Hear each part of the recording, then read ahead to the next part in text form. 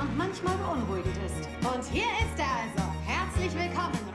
Netflix continues its love affair with biopics at the recently released 7-episode series Supersex, brings to the viewer the true story of the adult film industry sensation Rocco Siffredi. He rose from humble beginnings in a small town in Italy to become one of the stalwarts in the industry for over 40 years, and the series journeys through his early life and mental struggles as he grapples with stardom and the perils of the business. His brother Tommaso, or Tommy, plays a crucial role in the show, shaping his path to glory, and in this video, we'll look into what actually happened to his elder brother and guiding force. Before we go into our explanation, we have a very small request. If you like our content, please support us by subscribing to our channel. This is a small click for you, but for us, it means a lot. Thank you. Let's begin.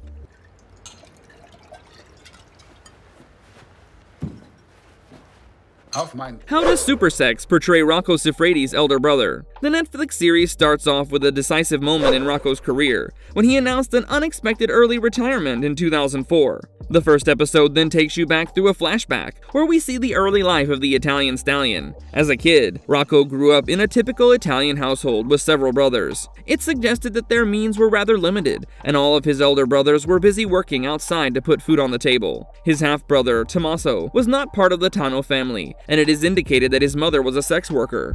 However, he was raised as one of their own, until his life decisions put him at odds against the family. His love interest, Lucia, had an infamous reputation in the small town, and Rocco's mother, who loved Tommaso like her own son, never approved of this relationship. But Tommaso was also earning handsomely, and he continued to provide for his family, even when his brothers and father did not approve. Meanwhile, Rocco was particularly drawn towards the charisma and success of his elder half-brother. He adored Tommy and idolized him in a way, and the latter was also extremely loving and protective of Rocco. Later, following a fallout with his family, Tommy moves to Paris, and many years later, when a young 20-year-old Rocco heads to Paris in search of work, Tommy readily gives him shelter in his home and finds him work in the restaurant that he manages. Tommy is the manager of a restaurant run by an Italian family with connections to the mob, and he's even shown to have multiple run-ins with the law. Their relationship sours over a period of time, and in later episodes, Tommy's estranged equation with his wife Lucia further erodes his bond with his brother. He does not approve of Rocco's life choices after a point, and he has a lasting feeling that Rocco will never reciprocate the favors he has done to him.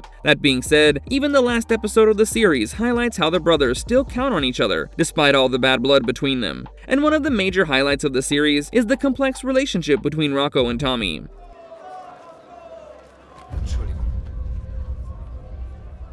Is the character of Tommaso fictionalized? After witnessing the premiere of the show, Rocco Siffredi admitted that while the narrative was moving and based on his life, there were many elements that were added courtesy of the creative liberty of the makers. As it turns out, the character of Tommaso may have been one of them because there's no mention of such an elder brother in Rocco's previous interviews and the documentary made on him. The close relationship between them that becomes fraught in adulthood is only added for dramatic impact, and the character of his wife Lucia and her close bond with Rocco is a fictional compilation of several women who influenced his journey. That being said, Rocco did admit to the presence of his real-life elder brother in shaping his career. While Tommaso may have been an imaginary character, Rocco did have a similar figure in his life who was loving and supportive. The actor stated in an interview that he had spoken to his elder brother about his ambitions of working in adult films when he was only 13 years old. Initially, his elder brother dismissed his ideas as fantasies of puberty in a hormone-fueled young teenager, but Rocco persisted with his goals even when he was 16. Finally, when he was 20 and still holding on to his ambitions, his brother realized that Rocco was actually seriously considering a career in the adult film industry. During this time, his elder brother was in Paris,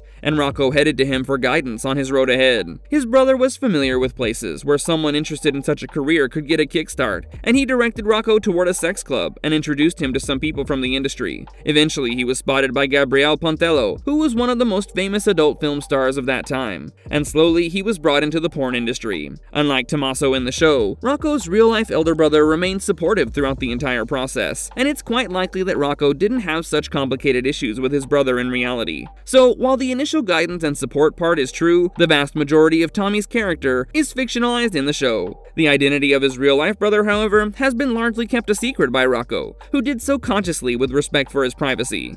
What happened to Rocco's elder brother? Where is he now? In the Netflix series, the character of Tommaso goes on a downward spiral despite the best attempts of his brother Rocco to stop him. His relationship with his wife Lucia worsens to the point where she leaves him with their son, and finally, after Lucia gets remarried, Tommaso is unable to handle the tragedies of his life. He ends up shooting himself dead, which greatly impacts Rocco in his career decisions following his beloved Tommy's death. While this entire saga is fictional, the real identity of his supportive elder brother is a closely guarded secret. Given the huge age difference between the two, he must be above 70 years old by now, even if he's alive. Meanwhile, we do know about Rocco's beloved cousin, Gabriele Galetta. He collaborated with Rocco for over three decades on several adult movies, but the association came to a tragic end in 2020. Gabriel suddenly passed away at his residence in Italy, much to the shock of the adult film star. It has been reported that he died from a heart attack, but there were a few speculations surrounding his death because of his alleged mob connections. However, these are rumors that cannot be validated at this point, and all Rocco had to say about his death was how it left him in shock. He stated that his cousin was a heavy smoker, and it is probably his smoking habit that ultimately took a toll on him. You couldn't be wrong for assuming that the character of Tommaso in the movie is a combination of his cousin brother, who worked alongside Rocco, and his real-life elder brother, who supported him immensely during his struggling days.